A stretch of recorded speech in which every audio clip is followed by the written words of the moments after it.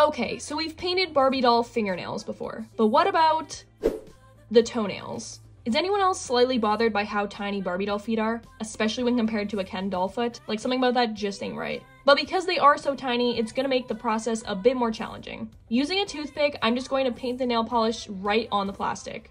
And there we go, painted Barbie toenails. I think they especially look good with an open toed heel like this. But what do you guys think? Do you like them, or should we just stick to painted fingernails?